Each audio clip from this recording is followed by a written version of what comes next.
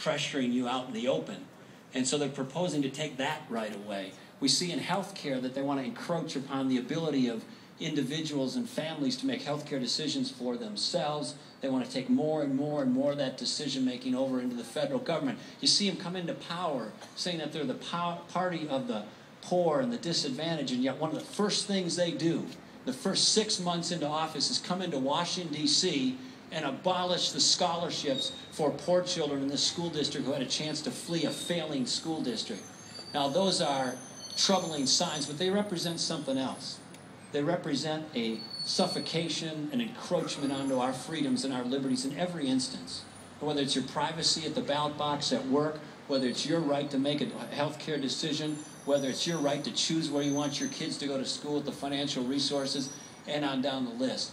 And one last thing we don't have an administration that says to some of our best friends around the world, like Poland and the Czech Republic, you can't count on us.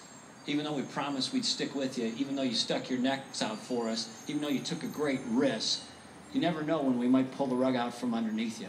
You got Lech Walesa saying, you know, you can't trust the United States, they're only out for themselves. So I hope you're concerned about those things. I know you are. But we also have to be more than just critics in chief of what's going on, on the other side. We have to articulate our own positive message moving forward. In Minnesota, you know, we're concerned also about government spending. In 150 years of that state's history, in two-year budget cycle to two-year budget cycle, we never they never slowed down spending, never cut it in real terms once ever in 150 years until I became governor. Uh, we got the spending down to 2% a year on average during my time as governor. We've got market-based reforms moving forward in healthcare, got performance pay in education, a lot of other good stuff. But the, I'm not saying that to you because I'm bragging. Minnesota, we try to be modest, but never Midwest.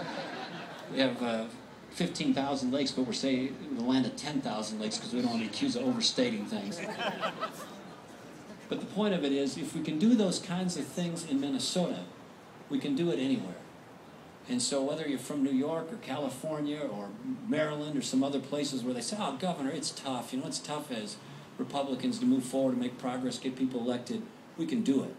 We live in a great nation. It's filled with really good people. I don't buy into this notion that America is in decline, that somehow we have this uh, inspiration from the other side of the aisle that America's place in the world needs to be you know, downgraded. This is a great country filled with really good people. And I'm planning to spend the next year and a half of my life finishing out my term as governor, helping the Republican Governors Association as vice chair get governors elected and reelected. And you'll see the first returns on that effort by many in this room in Virginia and New Jersey in just a couple of weeks. And I think it's going to go well for us.